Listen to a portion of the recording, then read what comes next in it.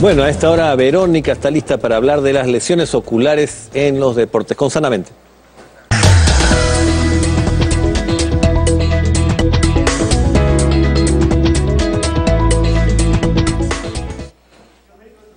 Y sobre todo, Federico, a esos deportistas que solamente lo son los fines de semana.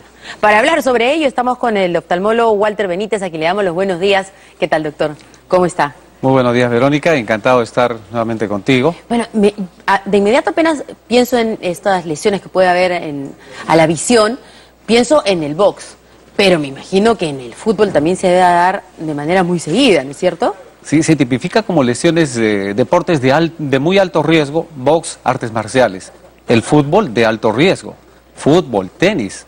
¿El tenis? La pesca, que parece increíble, deportes de alto riesgo. Y ya de bajo riesgo son otros deportes como ciclismo, natación, carreras.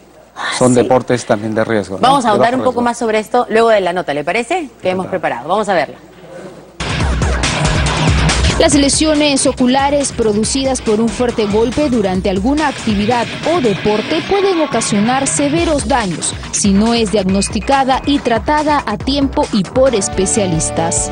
Estas pueden ser desde lesiones leves hasta severas. Un, simple hematoma en el párpado, un hinchazón de párpado, un hinchazón que, el ojo se le ponga un poquito rojo, eso puede ser una lesión leve. ¿Producido por? Puede ser por, una pelota, puede ser por, un golpe con, el brazo, con, algún miembro inferior. Según el oftalmólogo José Benítez, las lesiones severas pueden incluso tener consecuencias fatales, como la pérdida definitiva de la visión. Una lesión muy severa puede producir un desprendimiento de retina y eso puede llevar a la ceguera a un paciente si es que no es adecuadamente tratado. En estos casos, el paciente o deportista puede presentar dificultad para ver, mucho dolor, entre otras manifestaciones. El paciente vea doble, haya disminución de la visión, tenga mucho dolor o tenga dificultad para mover, mover los ojos, acuda al oftalmólogo. Que el paciente disminuya su visión, que, esté viendo menos. Entonces ese es un buen signo. Lo, otro signo, si, ya usted tiene una hemorragia en, la conjuntiva o en la parte blanca del ojo, también eh, hágase examinar los ojos. Si, dolor también. Si tiene dificultad para mover los ojos, pues ya, estamos hablando de, que esta lesión es considerable. Pues. En caso el golpe en el ojo sea leve, el uso de compresas frías ayudará a desinflamar la zona. Por otro lado, una revisión más exhaustiva ayudará al paciente a recibir un tratamiento adecuado. Se recomienda además el uso de lentes especiales durante la práctica del deporte para evitar futuras lesiones. Ah, esos son los lentes especiales, ¿no es cierto? Porque, o sea, uno se saca los lentes para jugar el fulbito, la pichanga con los amigos y no va a ver igual y ahí está más propenso precisamente lesionarse, imagino. Claro, porque en el deporte vamos a ver las reacciones de la información que recibimos. Entonces, si es un paciente que no ve bien, definitivamente va a tener mayor propensión a tener accidentes. Y si, peor aún, si juega con sus anteojos que no están preparados para resistir el impacto de la pelota, puede el mismo anteojo lesionarle su ojo, ¿no? En oculáser, gran porcentaje de los pacientes que se operan es porque quieren hacer deportes. ¿En serio? En serio.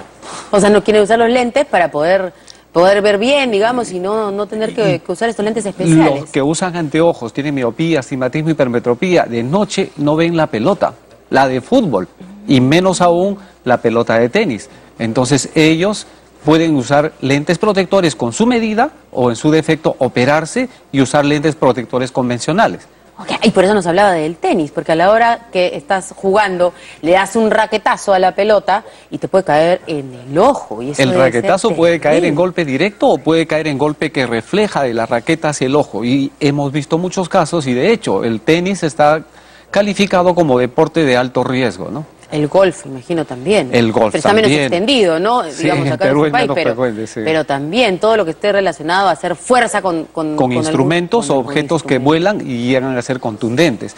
La pelota parecería que la de fútbol no lesionaría, pero sí hemos visto pacientes con desprendimiento de retina, con hemorragias retinales y con pérdida de la visión si no acuden en forma temprana.